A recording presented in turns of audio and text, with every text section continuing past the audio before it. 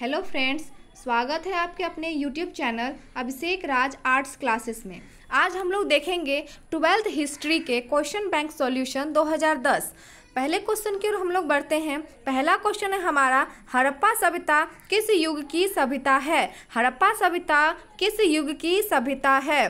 पूर्व पाषाण युग नव पाषाण युग लोह युग या कांस युग हड़प्पा सभ्यता जो है, वो किस युग की सभ्यता है? कांस युग की सभ्यता है। किस युग की सभ्यता है? कांस्य युग की सभ्यता है। दो नंबर का क्वेश्चन देखते हैं हम लोग। हड़प्पा सभ्यता का सबसे बड़ा नगर कौन था? हड़प्पा सभ्यता का सबसे बड़ा नगर कौन था? मोहनजोदड़ो कालीबंगा, लोथल या रंगपुर? हड़प्पा सभ्यता का सबसे बड़ा नगर जो है, वो था मोहनजोदड़ो कौन था? मोहनजोदड़ो था। क्या था? मोहनजोदड़ो था। इसके बाद देखते हैं आगे।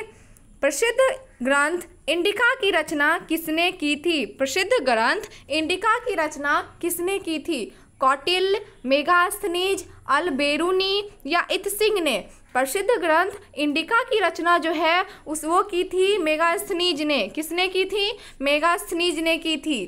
प्रयाग परिस्थिति की रचना किसने की थी? प्रयाग परिस्थिति की रचना किसने की थी? कालिदास वान भट्ट हरिसेन या पतंजलि ने? प्रयाग परस्ती की जो रचना है, वो की थी हरिसेन ने। किसने की थी? हरिसेन ने की थी। पाँच नंबर के क्वेश्चन की ओर बढ़ते हैं हम लोग। गुप्तों के काल में कौन चीनी यात्री भारत आया? गुप्तों के काल में कौन चीनी यात्री भारत आया? बताइए आप लोग इस क्वेश्चन का आंसर। हेनसोंग फांग इतसिंग या वांग हेत से? कौन आया था गुप्तों के काल में? फांग आया था।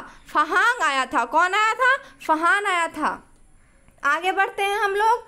छः नंबर के क्वेश्चन की ओर। भारतीय इतिहास का कौन सा काल स्वर्ण काल के नाम से जाना जाता है? भारतीय इतिहास का कौन सा काल स्वर्ण काल के नाम से जाना जाता है? मौर्य काल, गुप्त काल, मुगल काल या अंग्रेज़ों का काल? कौन सा काल होगा इसमें? इसमें होगा हमारा गुप्त काल। कौन सा काल होगा? गुप्त काल होगा। कौन सा काल होगा? गुप्त काल होगा। सात नंबर की ओर बढ़ते हैं हम लोग। महाभारत की रचना किस भाषा में हुई है? महाभारत की रचना किस भाषा में हुई है? संस्कृत, पाली, प्राकृत या हिंदी? किस भाषा में हुई है? बताइए। संस्कृत में हुई है। किस भाषा में हुई है? संस्कृत में हुई है। आठ नंबर क्वेश्चन की ओर बढ़ते हैं हम लोग। महात्मा बुद्ध को ज्ञान की प्राप्ति कहाँ हुई? महात्मा बुद्ध को ज्ञान की प्राप्ति कहाँ हुई? लुम्बिनी में बोध गया में सारनाथ में या कुशीनगर में? कहाँ हुई थी महात्मा बुद्ध को ज्ञान की प्राप्ति की? बोध गया में हुई थी। कहाँ हुई थी? बोध गया में हुई थी। चलिए। नौ नंबर की ओर बढ़ते हैं हम लोग। श्वेतांबर और पीताम्बर का संबंध किस धर्म से है? श्वेतांबर और पीताम्बर का संबंध किस धर्म से है? हिंदू, बौद्ध, सैफ या जैन? किस धर्म से है? जैन धर्म से है। किस धर्म से है? जैन धर्म से है। आगे बढ़ते हैं हम लोग दस नंबर की ओर। अशोक किस वंश का शासक था? अशोक किस वंश का शासक था? नंद वंश, मौर्य वंश, गुप्त वंश या चोल वंश? तो अशोक जो है वो मौर्य वंश के शासक थे। किस वंश के शासक थे? मौर्य वंश के शासक थे। ग्यारह नंबर पर चलते हैं। अकबरनामा की रचना किसने की? अकबरनामा की रचना किसने की थी? अमीर खुसरो ने, अल बेरूनी ने, इब्न बतूता या अबुल फजल ने? तो जो अकबरनामा है उसकी रचना अबुल फजल ने की थी। किसने की थी? अबुल फजल ने की थी। बारह नंबर की ओर चलते हैं। पानीपत का प्रथम युद्ध किस वर्ष हुआ था? पानीपत का प्रथम युद्ध। यहाँ पे ध्यान दीजिएगा, ये बोल रहा है पानीपत का प्रथम युद्ध। कौन सा? प्रथम युद्ध। किस वर्ष हुआ था? पंद्रह सौ नौ ईस्वी, पंद्रह सौ छब्बीस ईस्वी, पंद्रह सौ छप्पन ईस्वी या सत्रह सौ इकसठ ईस्वी? तो जो इसका आंसर हो जाएगा, वो हो जाएगा पंद्रह सौ छब्बीस ईस्वी। बी नंबर, पंद्रह सौ छब्बीस ईस्वी। ध्यान दीजिएगा, बोल रहा है पानीपत का प्रथम युद्ध। प्रथम युद्ध पूछ रहा है पंद्रह सौ छब्बीस नंबर, पंद्रह सौ छब्बीस ईस्वी होगा। चलिए, आगे बढ़ते हैं। तेरह नंबर पे, भारत का अंतिम मुगल शासक कौन था? भारत का अंतिम मुगल शासक कौन था? शाहजहां, औरंगज़ेब, मोहम्मद शाह या बहादुर शाह ज़फ़र। कौन था अंतिम मुगल शासक? तो ये थे बहादुर शाह ज़फ़र। कौन थे? बहादुर शाह ज़फ़र थे। चौदह नंबर पे चलते हम लोग। इब्न बतूता किस देश का यात्री था? इब्न बतूता किस देश का यात्री था? मोरक्को, मिस्र, तुर्की या ईरान? किस देश का यात्री था? बताइए आप लोग। मोरक्को का था। किस देश का था? मोरक्को का था। पंद्रह नंबर पे चलते हैं हम लोग। विजयनगर का महानतम शासक कौन था? विजयनगर का महानतम शासक कौन था? वीर नरसिंह, कृष्णदेव राय, अच्युत राय या सदाशिव राय? कौन थे विजयनगर के महानतम शासक? कृष्णदेव थे। कौन थे? कृष्णदेव थे। कृष्ण भगवान महान होता है। कृष्ण भगवान महान होता है। क्या हो जाएगा इसका आंसर? कृष्णदेव राय। विजयनगर का महानतम शासक कौन था? कृष्णदेव राय था। चलिए आगे बढ़ते हैं हम लोग। गोपुरम का संबंध है। गोपुरम का संबंध है। किससे है? गाय से, नगर से, व्यापार से या मंदिर से? किससे है गोपुरम का संबंध? मंदिर से है। किससे है? मंदिर से है। चलिए।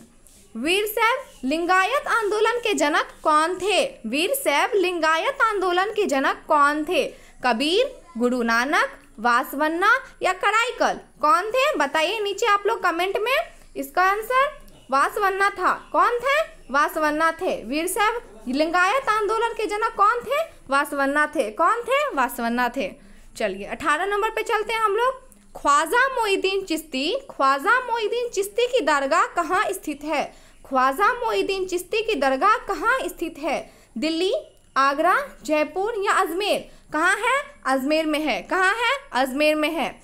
चलिए ताजमहल का निर्माण किसने किया? ताजमहल का निर्माण किसने किया? अकबर, जहांगीर, औरंगज़ेब या शाहजहां? किसने करवाया था? किसने करवाया था? बताइए आप लोग नीचे। शाहजहां ने करवाया था। किसने करवाया था? शाहजहां ने करवाया था। ये क्वेश्चन जो आपका 19 नंबर का क्वेश्चन है, वो बहुत ज़्यादा इम्पोर्टेंट है। लगभग हर बार आता है ये क्वेश्चन और बहुत ज़्यादा ही इजी क्वेश्चन है। याद करने में बिल्कुल भी दिक्कत नहीं होने वाला है। याद रखिएगा ताजमहल का जो निर्माण है, वो किसने करवाया था? शाहजहां ने करवाया था। चलिए बीस नंबर की ओर चलते हैं हम लोग। दिल्ली से दौलताबाद, किस शासक ने अपनी राजधानी परिवर्तित की? दिल्ली से दौलताबाद, किस शासक ने अपनी राजधानी परिवर्तित की? पहला नंबर है ऑप्शन, बलवन, मोहम्मद तुगलक, अलाउद्दीन खिलजी या अकबर? तो कौन सा हो जाएगा इसका answer? Akbar. D number, Akbar. क्या होगा? D number, Akbar.